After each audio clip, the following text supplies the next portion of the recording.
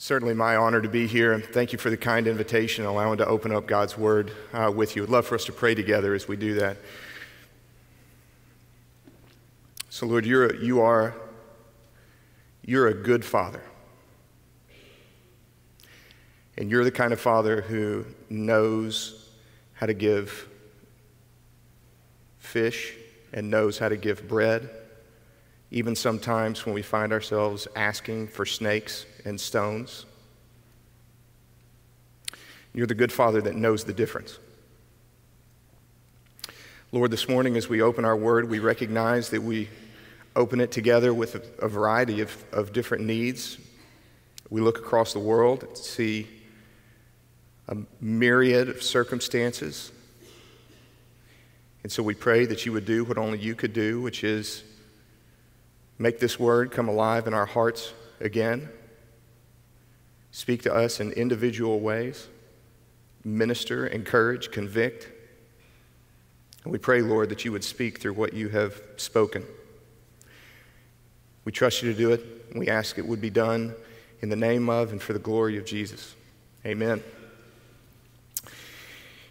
Dr. Akin introduced me. My name is Michael Kelley, and uh, again, I'm so glad to be able to be here with you. You know, uh, for our purposes here this morning, there is one other thing that I wanted to tell you about myself, which I think will help inform our time a little bit, and uh, and that is that I, uh, part of my personality is that I love to make lists, not just like, like love, and, and maybe not even love, but need to make lists. So even right now in my bag, there is a folder, a paper folder, not just on my phone. There's a paper tangible folder that's put together that has a list of stuff in it. It's a list. It's the name of the person that's picking you up from the airport. This is what time you're supposed to be there. Man, I love that.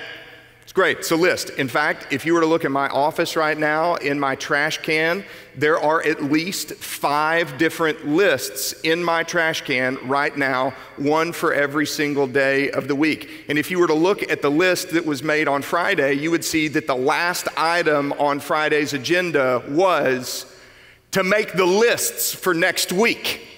So that's just how I roll. It's what I do. And in fact, I love lists so much that if I do something, if I do something that was not on my list, I will write it on my list just for the sheer pleasure of crossing it off the list. I mean, there is no better feeling in the world than the one that I get relatively uncommonly but to look at the end of a day and see a list of paper that has lines drawn through it, because that means these are all the things that I have accomplished.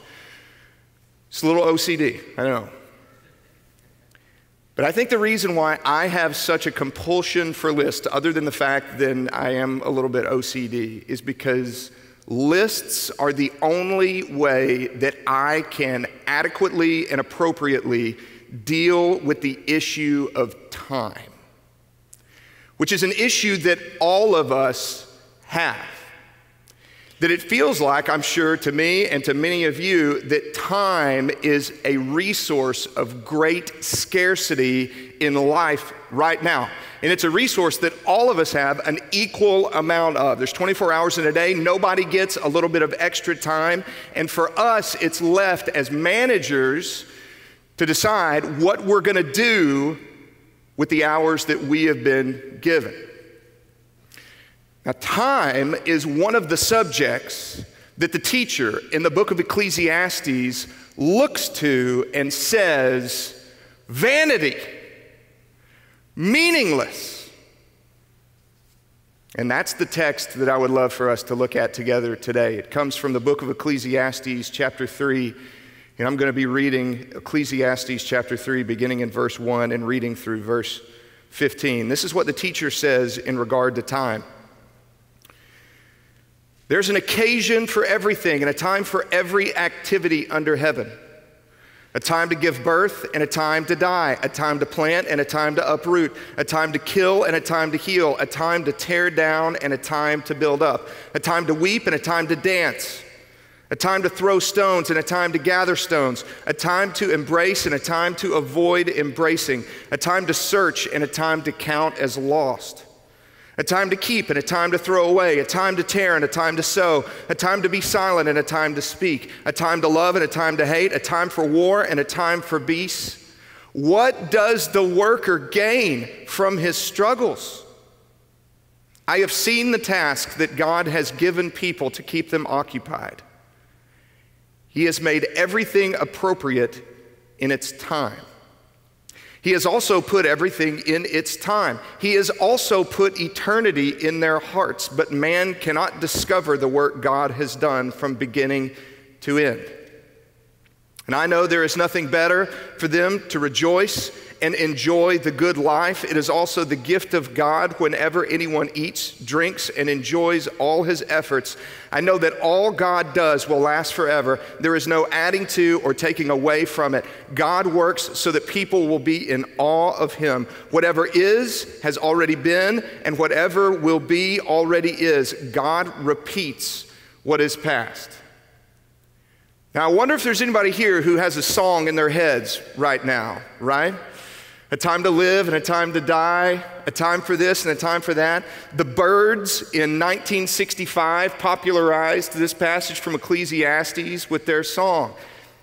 And if you remember what the tune sounds like, it's a pretty easygoing kind of melody. I mean, it's something that you would put on and play on a lazy Saturday afternoon. It just kind of makes you feel good. You can sit back and listen to it. It's got a real slow, easy, melodic vibe to it. But I'm not sure that that's the tone that the teacher intended when he wrote these words. That I think, if it fits contextually with the rest of Ecclesiastes, he didn't intend for us to look at these words in that smooth, melodic, easygoing kind of nature, but instead to see it with the same sort of frustration with which he saw everything else under the sun that is vanity. So I wonder maybe if we could sort of reimagine Ecclesiastes chapter 3 in our modern vernacular to help us get the sense of the tone that the teacher is after here. So it might sound something like this You know, there's a time for a healthy pregnancy, and there's a time for miscarriage. There's a time when you can have fun with your kids, and then there's a time when they're too cool to be seen with you as teenagers. There's a time when your babies are in diapers, and then there's a time when you wonder if you can afford all the groceries to feed them. There's a time when you're earning a salary, and then there's a time when you wonder if you've saved enough for retirement. There's a time for chemotherapy, and there's a time for remission. There's a time for diplomacy in the world, and then there's a time for unavoidable conflict.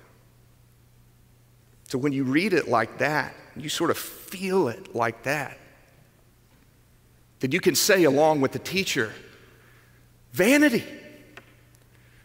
We're prisoners of this thing 24 hours in a day, and time, even now, is ticking on your life at both a macro and a micro level. At the micro level, this singular moment right here is a moment of your day that you have spent doing this thing instead of doing something else.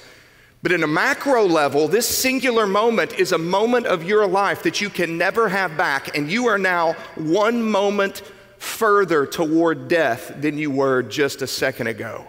Vanity.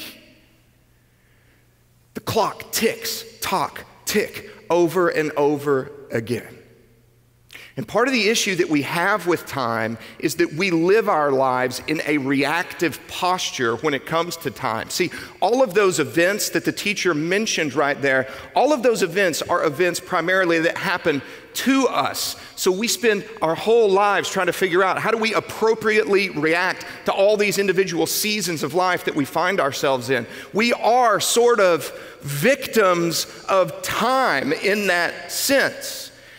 And when we realize that we have this reactive posture, it gives us the uncomfortable realization that we really don't control anything that is happening. Now, that's not to say that we don't want control and that we don't seek after control, because we certainly do that. We put the seatbelt on and we eat the organic food and we invest in the 401k and we buy the health insurance. We do all of these things, but when it comes right down to it, all of those things are really fooling us into the impression that we can actually exercise control over the circumstances of life. We can't. Vanity. But one of the other problems we have with time is that when we realize that we have a ticking clock, a limited resource, and we realize that we are living reactively inside of this ticking clock resource. There's something that wells up inside of us that says, This isn't right.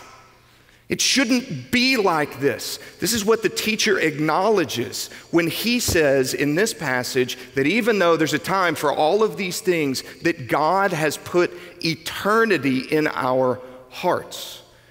So we get the sense that there's something else, there's something other, and that's why we're super frustrated at our inability to take hold of this resource called time. It's because in our hearts we know that we were meant for something more than just to live inside of these constraints. This is what C.S. Lewis would say about that longing inside of us. He would say, If I find in myself desires which nothing in this world can satisfy, the only logical explanation is that I was made for another world.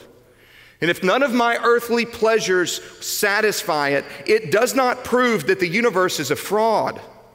Probably earthly pleasures were never meant to satisfy it, but only arouse it and to suggest the real thing. He would describe then this sense of longing, this sense of something else that we have inside of us, this eternity in our hearts, as the scent of a flower not yet found the echo of a tune we have not heard, news from a country that we have never visited. This is the eternity that the Lord has planted in our hearts. One of the problems with us understanding the nature of this eternity that's put in our hearts is that many of us, I think, have a misguided interpretation of what eternity really is. See, for the longest time in my own life, I thought about eternity as a line. Like time exists on a line, and eternity are those arrows at the end of the line. So there's eternity past, and that's represented by this line, this arrow on the line that goes far in that direction with a never stopping point. And then eternity in the future is represented by the arrow on the other side that goes all the way in the other direction with a never stopping in the future. But that's a misunderstanding of eternity. Eternity is not being on that line and going on forever. Eternity is escaping from the line entirely because that's the arena in which God dwells and does his work.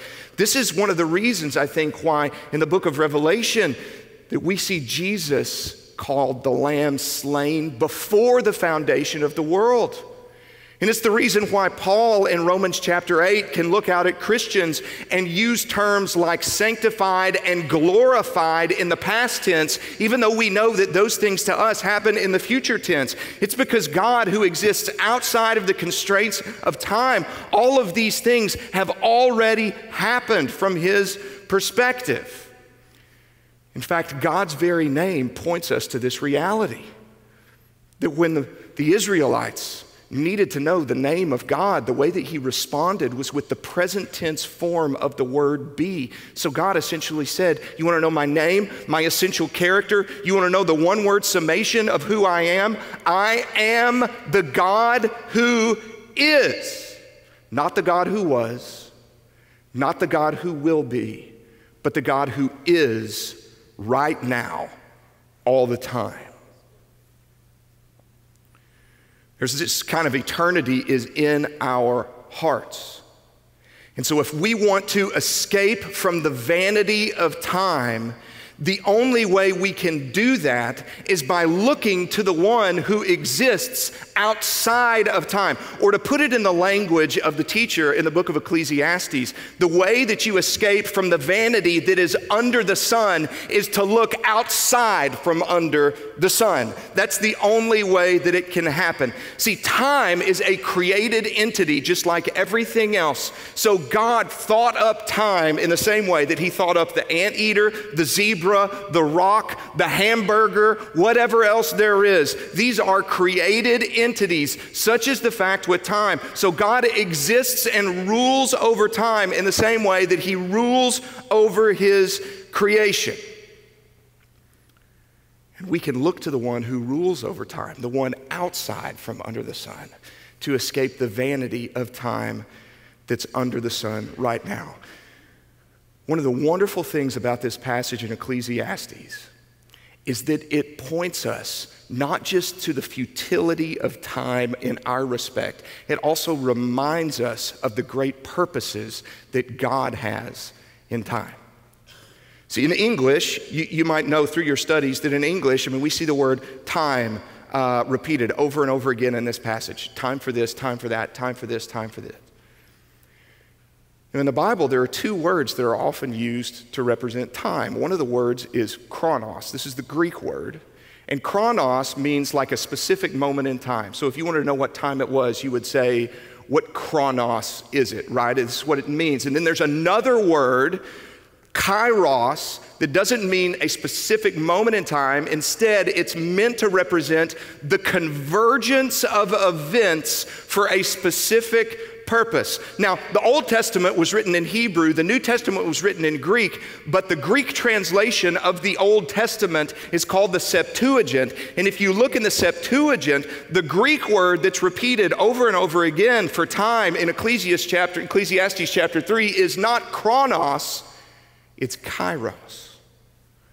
So, from the teacher's perspective, he's not just talking about there's a time for you to do all these things a time to live and a time to die, a time to plant and a time to reap, a time you know, for birth, a time for death. There's not, he's not just talking about you, he's saying there is a chronos time. So, there is a way that you can view Ecclesiastes chapter 3 through the divine lens of God. So that in God's active timing, there truly is divine meaning and purpose behind all of these seasons. So while for us, all of these seasons we react to because we live caught in the vanity of time on the line, from God's kairos timing, when He looks at the way He is directing and moving and bringing factors together, none of these things, these seasons, are outside of His control. So the question then for us becomes do we really believe that God is actively involved in the universe? And we would, of course, say, yeah, we do, absolutely. We're Christians. This is what we believe. We're not deists. I mean, deism is, is, is sort of this offshoot of faith that would say that the Lord God is kind of a cosmic clockmaker who, at the beginning of time, set the world in motion and wound it up and then just sort of took his hands off and stepped back and let everything run its course. And we would say, well, we're not deists, we're Christians. We believe that the Lord does not have a passive stance when it comes to the events of human history and the events in our lives. We believe that He's working and active in the midst of all those things. But do we really? And do the people that we minister to really believe that? Perhaps not. And maybe one of the ways that we see that we don't really believe that nearly as strongly as we think we do is through things like the way we pray. Let me give you an example. Uh, we often, if someone is hurting, if someone is suffering, if someone you know needs something from the Lord, when we pray for that person, oftentimes we will say something like, "Lord, I pray that you would be with so and so." Now, I get what we mean when we say that. When we say, I pray that you would be with so and so, what we mean is, I pray that you would deliver them. I pray that you would comfort them. I pray that you would make known to them that you are indeed with them, that you would comfort them in their affliction. But that's not what we say. We say, Would you be with them? Which begs the question on the backside where has he been up till now? If we're asking God now to come and be with this person, has he been on a break? Has he been absent? Is he not well informed about everything that's going on in their lives? It points to the fact that our words reveal many times that we don't truly believe in God's active working in our world. But this passage says that all of these seasons are kairos in nature.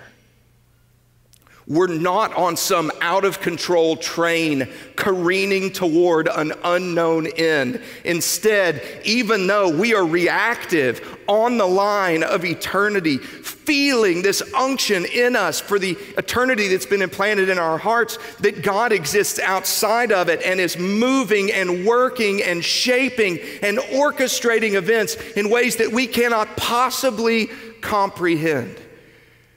And the true measure of whether we believe that God is actually active is not in our words, but in our own activity. Let me take you to the New Testament for an example. Jesus told a parable about a master who went away and entrusted his servants with a certain level of talents, and he gave each servant a different level of talents. And as he was away, the servants used the things that the Lord, the, the master, had given them. He used them, each servant used them in different ways. And the first servant used the talents, the resources that they had been given to turn a greater investment. And the second one did the same. And the third one buried the talents because he was afraid of the master. And then when the master came back, for the first two, he gave accolades. Well done, good and faithful servant. But for the third one, he was cast out. God expects that we are active with the resources that He has entrusted to us. So, when we truly believe that the Lord has not taken his hands off of humanity, that the world is not spinning out of control, when we honestly believe that God is not only here with us, but he's actually actively involved in the affairs of humankind, the way that we measure how deeply that resonates with us in our souls is how active we are in investing for His kingdom. That if we're active in sharing the gospel, that if we're active in generosity, that if we're active in ministry, that if we're active in giving, that if we're active in listening, that if we're active in going and doing and being, that if we are active, we demonstrate that we believe that our God is orchestrating opportunities for us. And we just have to take hold of them. Another passage in the New Testament I love in this respect is from Ephesians chapter 5. This is Paul the Apostle. You'll remember this passage in Ephesians chapter 5. Before he gets to the part where he talks about husbands and wives and marriage, he talks a little bit about time and he encourages the believers at Ephesus. He says, Take every opportunity to make the most of the time that you've been given. This is from Ephesians chapter 5 verse 15. He says, "Be very careful then how you live or walk, not as unwise, but as wise, making the most of every opportunity because the days are evil." Now, we're tempted sometimes, I think, to read that passage where Paul says, "Be very careful how you walk," to treat it like we're walking through a minefield. Okay, so Paul wants us here to be very careful about the way that we're walking through the world. We got to be careful because we don't want to step in the wrong spot and get any sin on our shoes. This is not what he's saying. Paul's not advocating in that passage for a defensive carefulness. He's advocating for an offensive carefulness. Instead of walking carefully like this to the world, Paul is saying, as you walk and live out the days, the time, keep your head on a swivel because you are confident that God is actively engineering circumstances in your regular everyday lives for the sake of his kingdom. And you better have your eyes open if you want to redeem every single moment of time. Your confidence in God's sovereign activity will be measured by your activity for the sake of His kingdom. But there's one more question that needs to be answered, I believe, about this passage, because what we've said so far is that we exist on the line, and when our focus is just on the line of time, that we say with the teacher, vanity, meaningless, vanity. And yet, when we look outside of the line and see a God that is active in engineering circumstances, that we can overcome the sense of vanity and meaningless and instead redeem the time that God has given us for the sake of His kingdom. But the question that we have left is this How do we know? That this God who exists outside of time is actually for us. How do we know that He exists outside of time? And how do we know that all of these circumstances that He's engineering are actually for our good? How do we know? Because frankly, if you look around at your life and you look around at the world outside of here, everything that you see seems to contradict that message. The circumstances of our lives, the circumstances of the nation, the circumstances of the world seem to contradict the fact that there is a God who is in control and a God who loves his people. How do we know? And the way that we know that this God who lives outside of under the sun, the way that we know that this God not only is powerful but also loving, is not by looking to our circumstances, it's by looking to Jesus. Because in Jesus, we see the God who is always on time.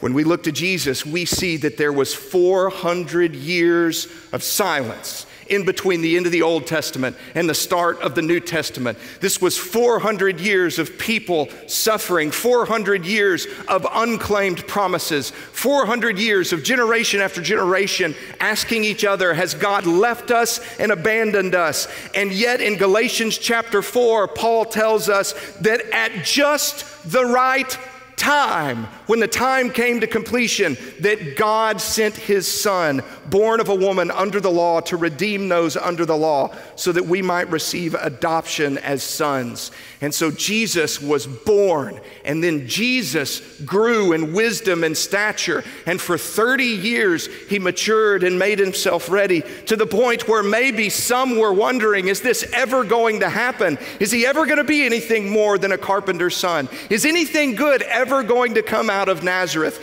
And then at just the right time, Jesus presented himself as the Lamb of God that would take away the sins of the world. And then, after three years of ministry and teaching and miracles, Jesus was arrested and he was taken to the cross. And if there was ever a moment when it looked like that this was careening out of control, when Jesus was crucified brutally at the hands of sinful men, we find that even this happened at just the right time, for at just the right time, while we were still helpless, at the appointed moment, Christ died for the ungodly. And then after he died, he was in the grave, and those were three days of darkness, three days of questions, Three days of wondering whether or not all the mission had gone awry. Three days of disciples and believers wondering if anything would ever be the same. Three days of going back to fishing. Three days of grieving. And yet, at just the right time, Jesus burst open the tomb and rose from the dead. And now we find ourselves here today, some 2,000 years after that, when we look out, just like they did in between Good Friday and Easter Sunday morning, and we say, Will it ever be different? Will all the bad things ever come untrue? Will God ever come for his people? Will redemption of us and creation ever really happen? And yet we know even now that the Son stands ready at the right hand of the Father, waiting for the Father to say, at just the right time, go back. Friends, this is not a message this morning about making sure you don't miss your moment. And it's not a message about squeezing all the life you can out of the time that you've been given.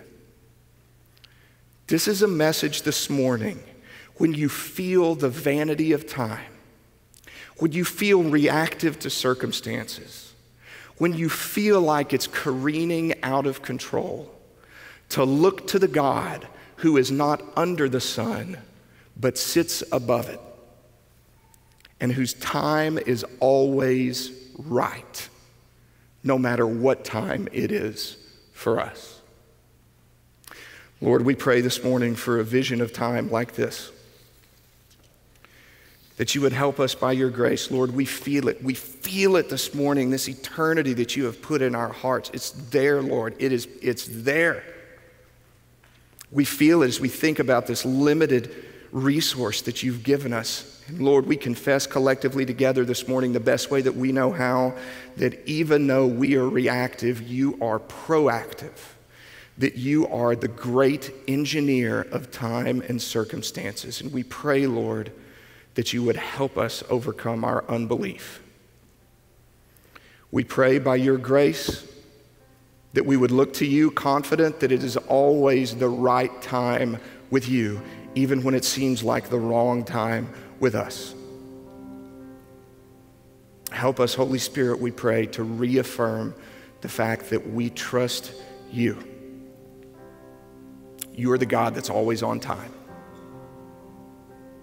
We pray that it would be so in the name of Jesus. Amen.